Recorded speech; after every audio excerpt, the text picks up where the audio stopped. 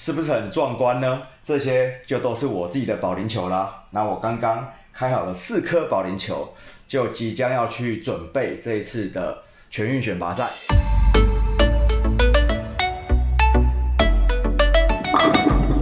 全运选拔呢是台湾很大型的一个赛事啦。那在参加选拔赛之前呢，我们就必须把我们要使用的球拿去验球。至于什么是验球呢？我们待会就介绍给大家看。那在那之前呢，先跟大家分享一个保龄球的小故事。有一位很有名的国手叫做小易，他在一场国际赛当中呢获得了冠军，非常的厉害。那按照惯例呢，就会对这个选手做一些检查啦。医护人员就告诉他说，你需要去验尿跟验大便。那小易选手就往医护室里面去。隔了十五分钟之后还没有出来，那护士就去敲门。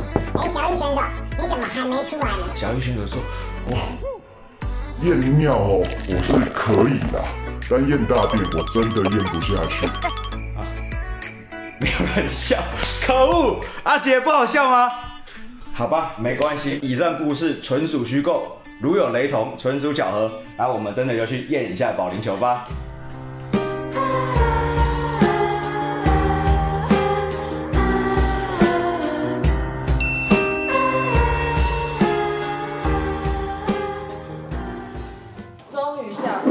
嗨，学姐，你怎么在这？有东西要麻烦学姐来帮我鉴定一下。哎，鉴定找我就对啦。我看你这个大包小包的，该不会是要我帮你鉴定保龄球吧？没错，因为我最近想要参赛啊，那要参赛之前就需要先验球。是那既然大家都知道学姐是个有 GG 的女人，所以有 GG 嘛，什么材质都可以鉴定，应该鉴定个保龄球也是没问题的吧？当然，鉴定保龄球不是难事，但是 GG 它主要是鉴定材质。嗯。那如果要鉴定保龄球的偏重，要符合正式比赛的规格，需要别的专业，对，当然喽，所以 GG 不行，那你就不行哦。我当然行，因为我至少也有 B 级的。裁判教练证，哦哟，既然航道要开气挂，那我当然是要找一个很厉害的，比你更厉害，对超过 B 级，对，那该不会就是 A 级吧？超过 A 级，超过 A 级是什么？S 级怪物吗？国宝级。国宝级好，那我们来看一下。所以我也准备好了我的验球单，麻烦学姐啦。那就麻烦航大把你的保龄球拿到桌上来吧。好，第二颗，第二颗哦，既然这么多颗，那我们有请国宝级的教练哦，哇配赌神的音乐，哇，那今天就麻烦麦野了。帮你验球嘛。第一，把这个棒针调好以后，那棒针准不准，这个很重要。如果还没有钻过的球，就以这个为中心点。嗯，那如果说有三个洞钻过以后，就以三个洞乘一条直线的一半，这这再偏偏个左右，有没有误差？哦，因为有时候我们验的球很多，我们就会先把线画好。那飞碟球的话，我们就是八磅的磅秤，八磅的砝码加三磅的砝码，加起来十一。那十一之后呢？那你过来看，这个是对，这个是十一磅，钻到扣掉那个穴就是六盎司，六盎司，嗯对，这个六盎司。因为以前没有电子秤啊，我们通常要快的话，我们验球单上面会写说保龄球的重量先写好，一一点五几是八盎司，一一点四几大概七盎司，因为一盎司等于零点六二五磅，我会先放盎司数，就刚刚你有拍到的可能四或六盎司，对，这是六盎司，没有钻之前差不多八七八盎司。对，嗯然后你开口，因为三个手指会加零点零八嗯左右，因为我们大概就是这样，那男生手指大可能加一。嗯，这个球托，我们水平的地方有有做两个刻度，这个这边，然后这边也有一个。好，对准了之后，重量不变，因为重量我们刚刚已经求好了，这是左左边偏重。嗯，那我们现在这个 OK，这是零嘛，稍微记录一下，那就是零。我通常都用脑记。好，然后这样这边我们再把它对过来。这个地方。好，那这一个大大外星人这个右半边，那我们重量对这边的重量，那我们就是移。那这个水平现在已经不平了、嗯，那我们就是因为求右边，我们就把这个金砖块移到右边来。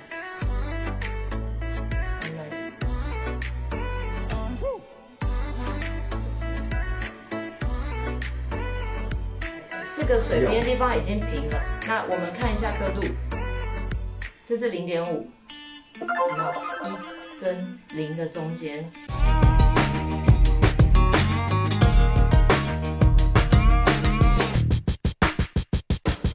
来，航大，请说，这个是什么位置？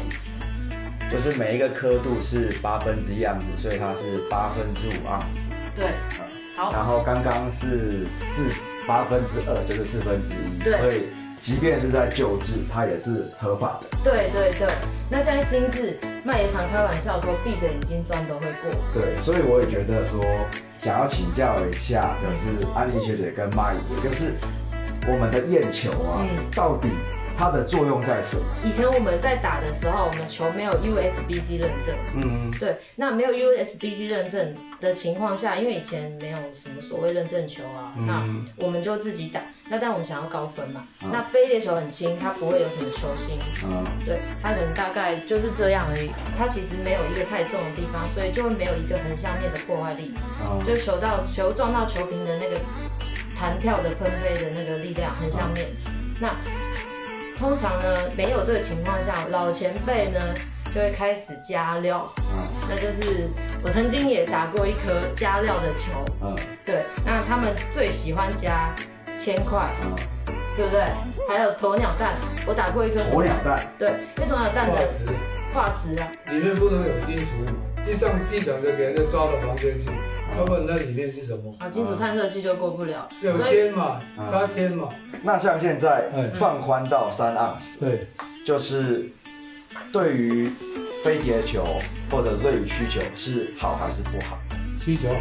曲球好，哎，怎么说？飞碟球你是你偏的三盎司，那那连线跟跟推推哦，会球尾会很明显，对，因为它现在都是后端很干，嗯，啊那那个干干油球一过的话，那个重心差三行子，它甩得很厉害。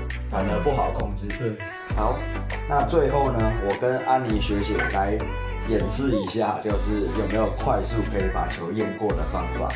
那刚刚安妮学姐有讲说，在比较大型的比赛的时候，如果有很多的球要验，就会有一位负责划线，另外一位帮忙称。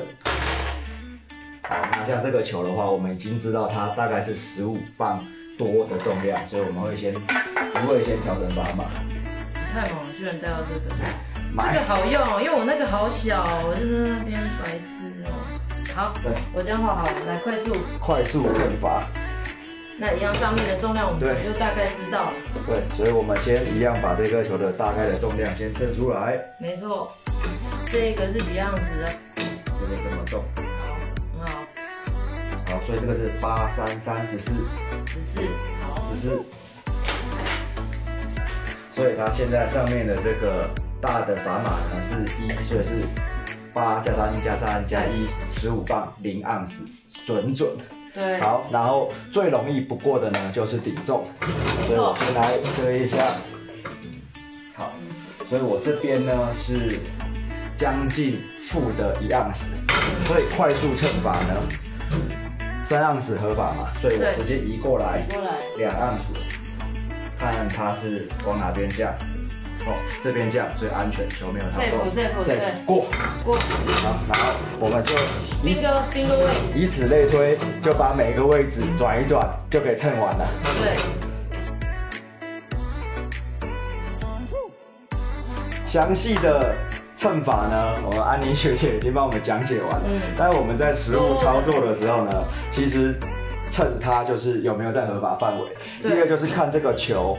哦，像这个球有没有补过？那如果补过的话，它有没有奇怪的痕迹，就是补在不该补的位置那就可能是有一些作弊。对对对，那那可能裁判就会去检视一下，说他补的状况啊，嗯，那就是如果看起来是怪怪的，那可能就有权要求选手不要用。那如果看起来是很蛮健康的、合理的，那应该就是我们可以用快速称法来去检视这个球是否合在我们的标准里面。没错没错，对，那现在的比赛大概都是先缴验球单，然后再抽检。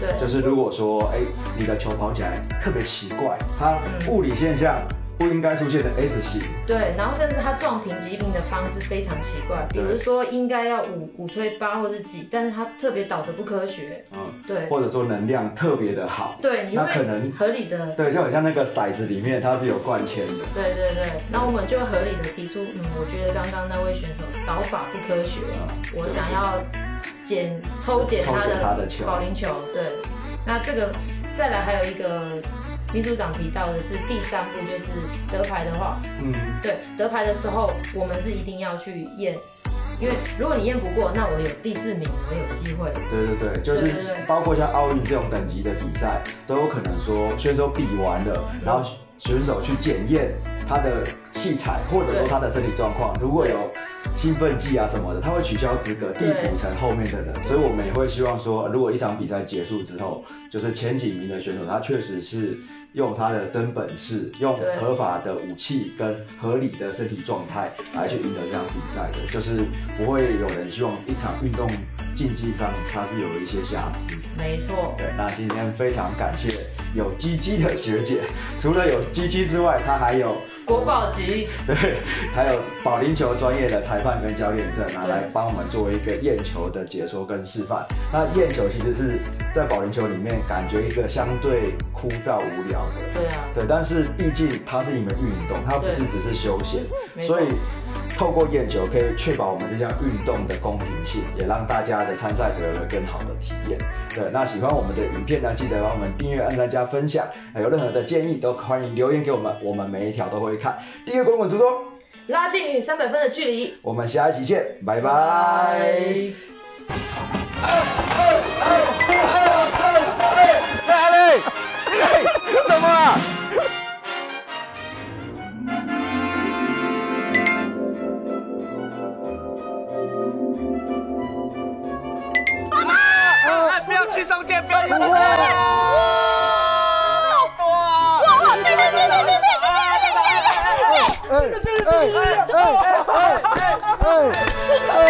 来吧，这个轮胎，轮胎，来来比一下轮胎跟保龄球的直径，差不哎，多吧？差不多哎。哎，真的差不多哎。好不好？既然今天来到我们车厂，